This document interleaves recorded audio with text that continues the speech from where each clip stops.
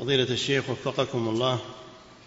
هذا سائل يقول القاعدة التي تقول إن كل إن كل جزئية لم يجري عليها عمل السلف من جزئيات النص لا يجوز العمل بها.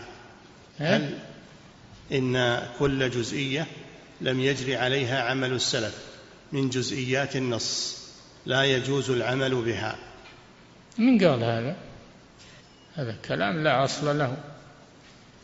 النص باقي وأدلته باقية والسلف ما أحاطوا بكل ما في الأدلة.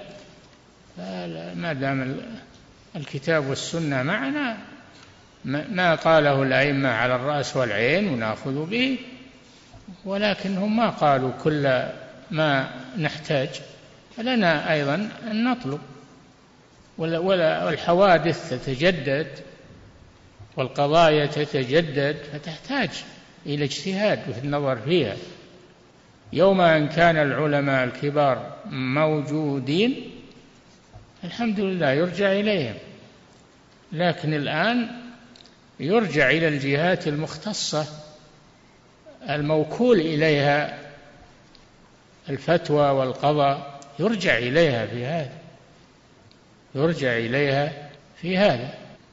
وإذا جاءهم أمر من الأمن أو الخوف أذاعوا به يعني صاروا يبحثون بينهم وهم ما هم بأهل لهذا.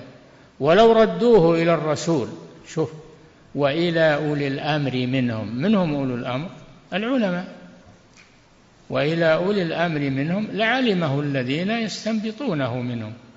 ولولا فضل الله عليكم ورحمته لاتبعتم الشيطان إلا قليلا.